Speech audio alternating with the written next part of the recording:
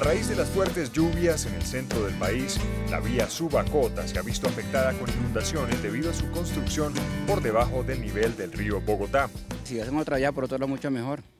porque esto aquí, aquí cuando llueve eso no hay paso para ningún lado, ni para Bogotá, ni para Cota, nada, para ningún lado eso hay vía. Por esa razón, la CAR planteó a las autoridades departamental y distrital un nuevo trazado de la vía de aproximadamente 980 metros de vía que permitan la conexión entre el municipio de Cota con la capital colombiana. Eh, básicamente, pues a nivel de Bogotá ellos han, logrado un avance importante, ya tienen definido un trazado que mm, se desplaza la vía donde está actualmente 60 metros al sur.